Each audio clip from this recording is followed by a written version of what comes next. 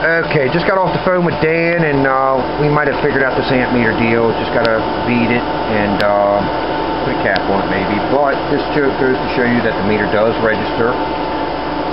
Now that's at 200. Let me bring the dead key up. And as I bring the dead key up, we see the amperage draw, and that's about 500 bird dead key. I'm not going to show my meter up there, but basically probably what we think's happening is uh, I'm just putting out so much goddamn audio that the meter don't like me.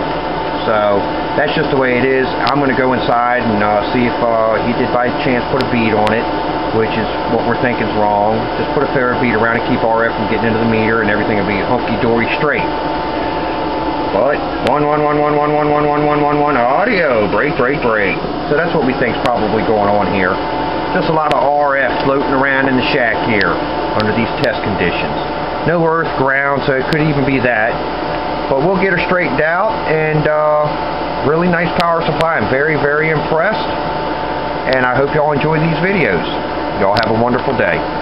Here's the amp meter working again. We got the amp meter up and running now. Race cars that you Little five pill still, spend money, don't like from last night. When you upgraded, bird meter. you upgrade car. We have a talker on you here right money, now. Correct? So you spent money. As you see, the amp meter is working. We got it corrected. Everything's good to go.